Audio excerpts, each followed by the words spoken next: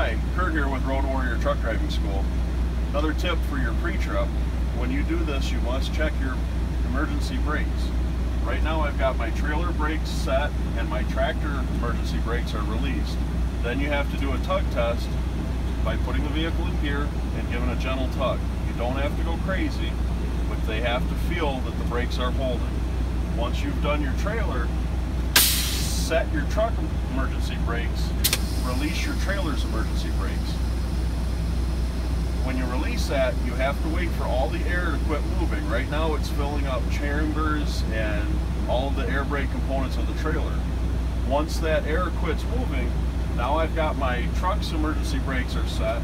My truck is in first gear. I'm going to do a gentle tug against the tractor's emergency brakes. now I've noted that that works. One test that is not on the Michigan State test, but it is a good test to do, is release both of your emergency brakes and use your Johnny bar or your trailer's service brake control. This is going to tell you that your service brakes of your trailer are working. Hold that down, gently let off your clutch, and you should feel that that is holding you in place. Another thing that that is good for is testing your coupling on your truck and trailer to make sure that your fifth wheel is fully locked. It's got your truck captured to your trailer. Then you're ready to go on down the road. Again, that is not one for the Michigan State Skills Test, but we teach our drivers here at Road Warrior that they do that every single time they leave the truck.